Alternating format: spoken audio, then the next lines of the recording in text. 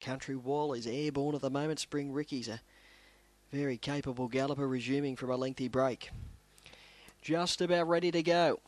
Second line coming in, Silent Crash, Country Wall, Sir Lancelot and Powder all on the outside of the green line through Bunny rolling. Race seven at Bulli. We're set and ready. Racing Powder Raw began cleanly. Northernette from the inside began well. She's punching up, looking for the lead. Coming across in the centre.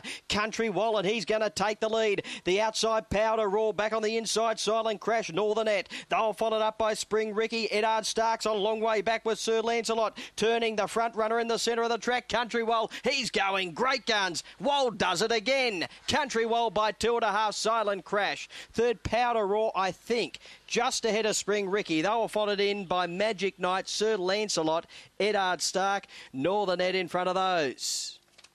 Country Wall, well, he is, he's dead set airborne at the moment. That is win number nine from 17. And he is going great guns. 22.65 the overall time, 22.65. And number four, Country Wall, landing the prize over two Silent Crash. Number eight, Powder Raw third, ahead of number five, Spring Ricky. Four, two, eight, and five.